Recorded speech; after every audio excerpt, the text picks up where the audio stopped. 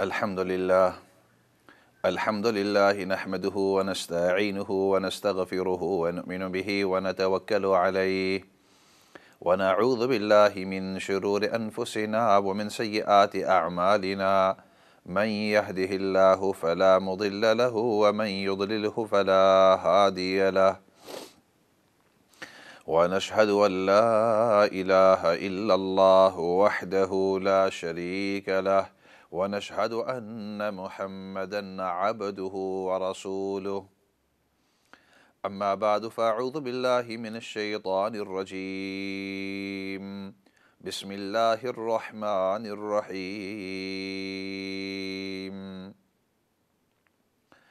فلما بلغ معه السعي قال يا بني إني أرى في المنام أني أذبحك فانظر ماذا ترى. قال يا أبت فعل ما تؤمر ستجدني إن شاء الله من الصابرين. فلما أسلما وتله للجبين وناديناه أن يا إبراهيم قد صدقت الرؤيا إنا كذلك نجزي المحسنين. صدق الله العظيم.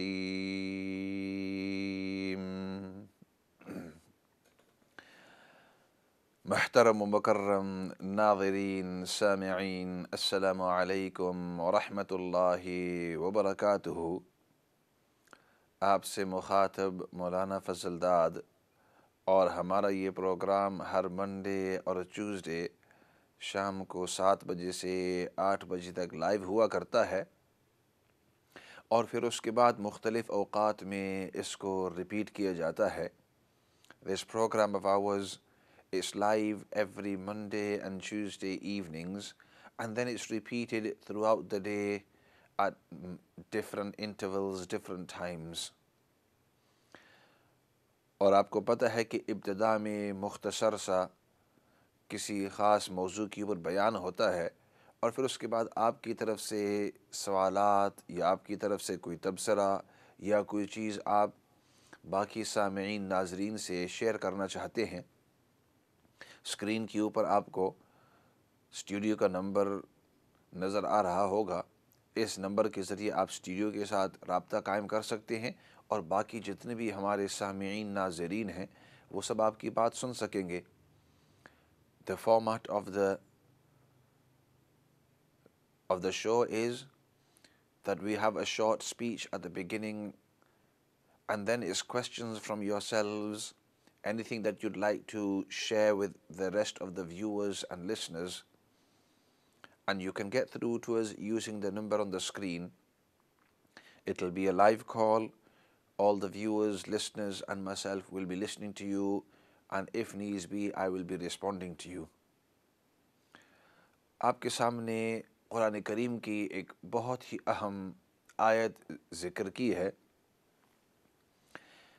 جس کے اندر اللہ رب العزت نے اپنے محترم نبی سیدنا ابراہیم علیہ السلام اور ان کے بیٹے سیدنا اسماعیل علیہ السلام ان کی قربانی کی طرف ہماری توجہ دلا رہی ہیں۔ چونکہ عید الاضحیٰ اب نزدیک ہی آنے والی ہے، تو ہمارے لیے ضروری ہے کہ ہم جان جائیں کہ قربانی یہ کیوں واجب ہے؟ اس کی اصل کہاں سے شروع ہوئی؟ کس کس پر واجب ہے؟ اس کا انداز کیا ہے؟ کن ملکوں کے اندر کر سکتے ہیں، کن ملکوں کے اندر نہیں کر سکتے؟ مردوں پر، عورتوں پر، بچوں پر، بوڑھوں پر کس کس پر یہ واجب ہوتی ہے؟ اور پھر قربانی صحیح ادا کرنے کا جو، ادا کرنے کا جو طریقہ ہے، جو سنت طریقہ ہے، اس کا ذکر کروں۔ I was just mentioning that the verses I have recited, Allah subhanahu wa ta'ala brings our attention to the sacrifice of the two great prophets of Allah subhanahu wa ta'ala, Sayyidina Ibrahim alayhi salam and Sayyidina Ismail alayhi salam. And the reason being of bringing that topic up now is because not very long left for Eid al-Adha and then we will be sacrificing animals in the memory of Sayyidina Ibrahim alayhi but also as a sunnah of the Prophet sallallahu wasallam. So what is in the next in this session of ours I'll be speaking about what is the origin of the qurbani of this sacrifice? Upon whom is this sacrifice compulsory? How did the prophet sallallahu wasallam and the sahaba perform it amongst our men, women, children, old, young, who is going to be performing it and what is the correct procedure of performing this qurbani, who can receive the qurbani and from whom shall we say that qurbani is not compulsory upon you.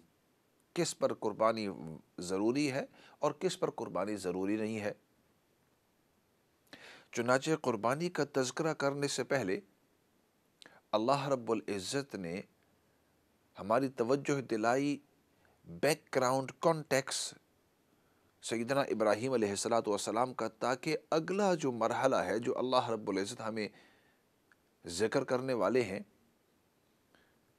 تو اس کی اہمیت ہمارے سامنے آ جائے۔ تو چنانچہ ابراہیم علیہ السلاۃ والسلام کافی عرصے تک اللہ رب العزت نے ان کو اولاد نہیں نصیب کی تھی۔ معرخین نے لکھا ہے کہ تقریباً اسی سال کی عمر تک اللہ رب العزت نے ابھی تک ان کو اولاد نصیب نہیں کی ہوئی تھی۔ اور سیدنا ابراہیم علیہ السلام وقت کے اول العظم نبی ہیں۔ ابراہیم علیہ السلام approximately at the age of 80 until then Allah had not granted him a child And we know that he is amongst the great prophets of Allah, the great messengers of Allah subhanahu wa ta'ala. He was very, very close to Allah subhanahu wa ta'ala. But until this very late stages of his life, he had not been granted a child. So Allah subhanahu wa ta'ala is building this context for us so that we can understand what a great sacrifice Ibrahim and Ismail had presented.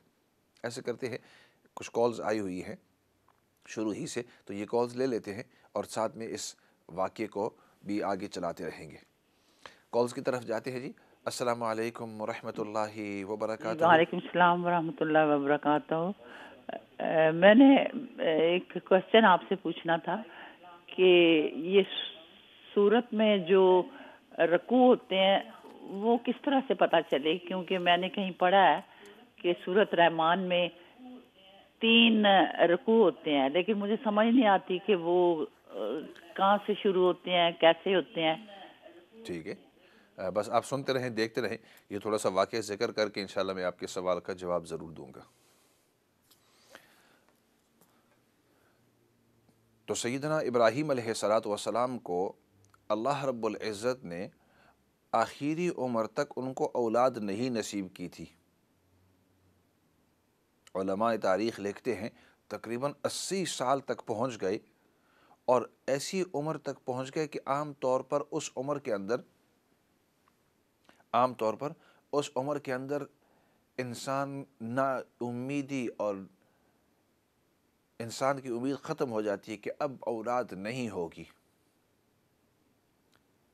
اسی عمر کے اندر اللہ رب العز اور پھر ساتھ میں نبی ابراہیم علیہ السلاۃ والسلام اللہ سے بار بار دعا کرتے رہے۔ ایک وقت آئے کہ ابراہیم علیہ السلاۃ والسلام اپنے گھر کے اندر تھے، تو ان کی یہاں کچھ مہمان آئے۔ اور ابراہیم علیہ السلاۃ والسلام کی من جملہ خاصیتوں میں سے ایک خاصیت یہ ہے کہ بڑے ہی سخی تھے، سخاوت۔ I am given the context of the birth of Ismail علیہ السلام and him coming in to this world تو on a certain occasion some And Ibrahim alayhi was known for his generosity. Every Nabi was very, very generous. The prophet وسلم was very generous لیکن ابراہیم علیہ السلاۃ والسلام کے بارے میں مشہور تھا کہ بہت ہی سخی تھے بلکہ یہاں تک کہ فرماتے ہیں کہ وہ اکیلے کبھی کھانا نہیں کھاتے تھے۔ جب کھانے کا وقت ہوتا اور اگر کوئی اور آدمی نہیں ملتا تو کھانے کا وہاں رکھتے تھے انتظار کرتے اور انتظار کرتے رہتے کوئی یہاں سے گزرے تو میں اس کو کھانے کے لیے بلا لوں۔ اتنے ہی سخی تھے۔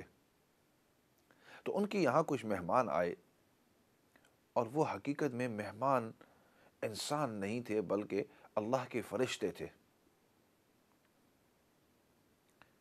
اور انسانی شکل کے اندر وہ آئے ہوئے تھے اور وہ دو کام کے لیے آئے۔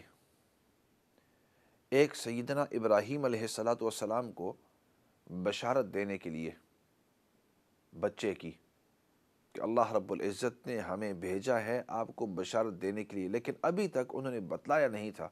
اور دوسرا کام یہ تھا کہ لوت علیہ السلاۃ والسلام کی وہاں نزدیک بستی تھی اور اس بستی کو سزا دینے کے لیے، عذاب دینے کے لیے وہاں والوں کے لیے، کیونکہ ان کی یہاں بری حرکتیں مشہور تھیں۔ گناہوں سے اور غلط کاموں سے وہ باز نہیں آ رہے تھے۔ سیدنا لوت علیہ السلاۃ والسلام ان کو بار بار سمجھاتے، بار بار سمجھاتے، بار بار سمجھاتے کہ یہ جو تم کام کر رہے ہو، یہ غلط ہے، یہ حرام ہے۔ لیکن وہ اس کام سے باز نہیں آتے تھے۔ تو اللہ رب العزت نے لوت علیہ السلاۃ والسلام کو فرمایا تھا کہ تم یہاں سے نکلتے جانا۔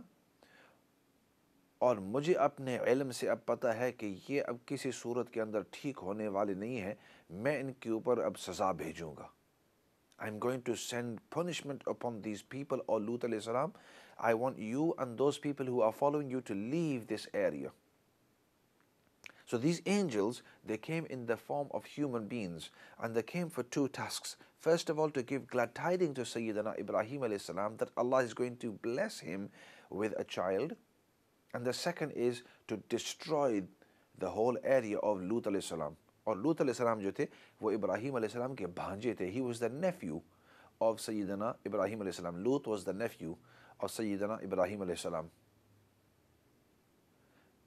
قرآن کریم نے ایک عجیب نقشہ کھینچا ہے کہ یہ مہمان آئے اور یہ آ کر انہوں نے سلام دیا اور ابراہیم علیہ السلاۃ والسلام کے گھر کے اندر آ کر بیٹھ گئے۔ ابراہیم علیہ السلام نے دیکھا کہ یہ جو مہمان آئے ہوئے ہیں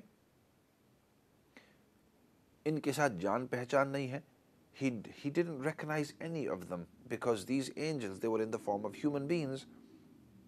اور ابراہیم علیہ السلام کو پتا تھا کہ جب میں ان کو پہچانتا نہیں ہوں تو ظاہری بات ہے کہ وہ اس علاقے کے نہیں ہیں if I don't recognize them, if I don't know them, of course they're not from this area. Because in those days, the population was very, very restricted. Everybody kind of knew each other.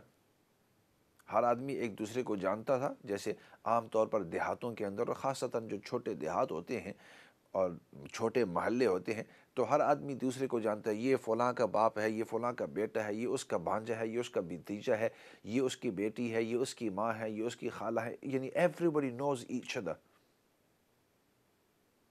and if somebody comes in in that area and you don't recognize them کوئی آدمی اس علاقے میں آئے اور آپ اس کو جانتے نہ ہو، تو آپ فوراً پہچان لیتے ہیں، بھائی یہ ہمارے محلے کا آدمی نہیں ہے، یہ ہمارے اس گاؤں کا، اس علاقے کا آدمی نہیں، یہ کہیں باہر سے آیا ہوا ہے۔ تو ابراہیم علیہ السلام نے جب دیکھا کہ میں ان کو پہچانتا نہیں ہوں، تو فوراً ذہن کے اندر بات آئی کہ یہ تو مہمان ہیں۔ He understood straight away that these are guests and it seems they've come from a different area. فَجَاءَ بِعِجْلٍ حَنِيذ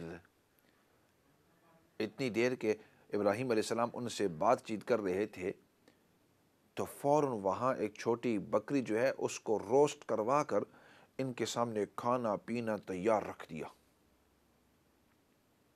کہ جب یہ سفر سے آئے ہیں، if these people are guests then it's important to feed them it's important to look after them and their needs. یہیں سے علماء نے اور خاصتاً مفتی شفیع صاحب رحمۃ اللہ علیہ نے معرف القرآن میں لکھا ہے اور اس آیت کے ماتحت دیگر علماء نے بھی لکھا ہے کہ فرمایا، اس سے پتہ چلتا ہے کہ اگر آپ کے پاس مہمان آئیں اور خاصتاً اگر وہ دوسرے علاقے سے ہوں، دور سے آئے ہوئے ہوں، تو ادب یہ ہے کہ ان کے بیٹھتے ہی ان کی جو ضروریات ہے ان کے بارے ان کے بارے میں ان کو پوچھنا اور ان کو اس کے اندر تسلی دینا۔ تو فار ایگزامپل سب سے پہلے بتلانا، بھائی ٹوائلٹس یہاں ہیں۔ اگر کسی کو ٹوائلٹ کی ضرورت ہو تو یہ ٹوائلٹس ہیں۔ اگر کسی کو اپنا منہ ہاتھ دھونا ہے تو وہاں آپ منہ ہاتھ دھو سکتے ہیں۔ آج کل تو اس کی اتنی ضرورت نہیں ہے، لیکن پہلے زمانے میں چونکہ سفر اس طرح ہوتا تھا کہ دھول وغیرہ لگ جاتی تھی، گندگی لگ جاتی تھی، تو انسان اپنے کلی کرنا، ہاتھ دھونا، منہ وغیرہ سے دھول وغیرہ ہٹا دینا۔ آج بھی اس طرح ہو سکتا ہے کہ اگر کسی نے لمبا موٹر وے کا سفر کیا ہے، تو تھکاوٹ ہوتی ہے، تو اس کی وجہ سے منہ، ہاتھ دھونا، وضو وغیرہ کر لینا۔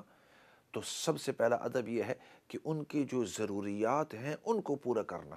One of the great etiquettes of receiving guests that we notice from this آیا